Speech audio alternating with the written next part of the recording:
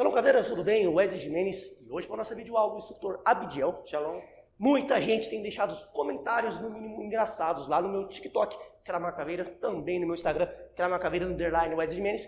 Wesley, você está fazendo vários vídeos de calça jeans, porque você grava vídeos, muitas vezes nessas redes sociais, de calça jeans. Você que me segue aqui no YouTube e não me segue nas outras redes sociais, sempre me vê de calça de kimono, de treino. Mas nas outras redes sociais, geralmente eu estou de calça jeans e as pessoas ficam ah, me questionando, né, por que eu uso calça jeans nas gravações.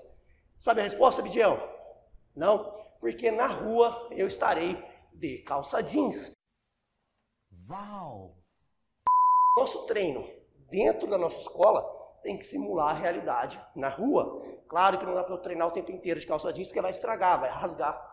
Mas eu também tenho que ter parte do meu treino onde envolva o uso de roupas do meu dia a dia, até para que eu saiba quais roupas eu posso ou não utilizar e como ah, será limitada a minha performance ou não com o meu uso diário de roupas, calçados, camisetas.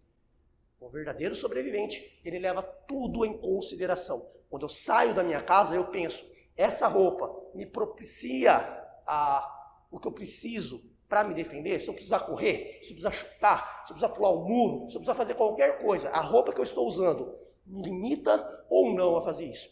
Então minhas roupas são escolhidas de acordo com o que eu quero sobreviver na rua. E geralmente eu estou o mais preparado possível.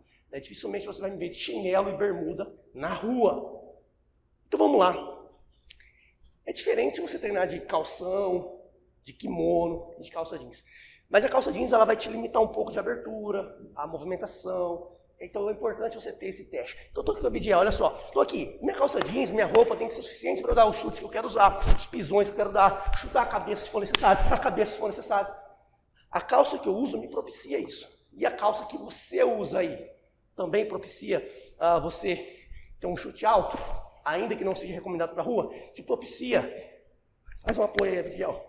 Vou subir na sua perna a pular um muro, a subir e pular um muro, eu usei o Abdiel aí de referência. Quase um muro, né? O tamanho do homem, mais de 1,90m, te propicia a subir nos lugares onde você tem que subir. Então, a sua roupa tem que condizer com o seu estilo de vida seguro. Então, sim, eu treino de calça jeans para simular o que eu posso ou não fazer na rua. E aí, gostou dessa dica? Comenta embaixo e vencer caveira.